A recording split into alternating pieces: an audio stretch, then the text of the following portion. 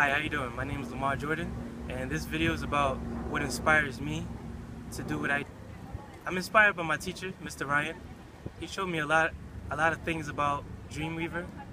I want to be a graphic design artist, create websites, create logos, uh, maybe create my own style text. Yep, so I like David Carson. He's a graphic designer. He's he made he made letters pop out. Um, he had them go slanted, straight, upside down, um, capitalized letters, little letters, and he just combined that all together to make it more pop out, to make it more like interesting. And that's what I like about him. Now, in the clothing industry, his art transferred to the urban area, so now his art is advertised on clothes now. Another person that inspires me to be a graphic design artist is a person named Paul Rand.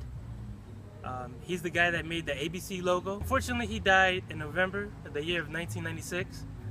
He made a lot of famous logos.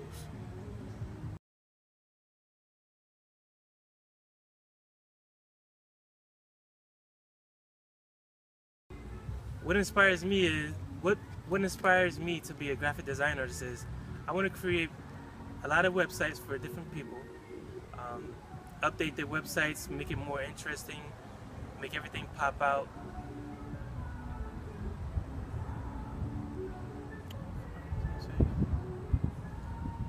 I also want to make history, just like Paul Rand did, make different logos and different textiles.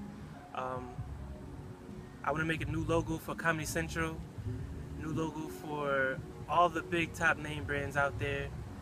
Um, make history. That's it. Yeah,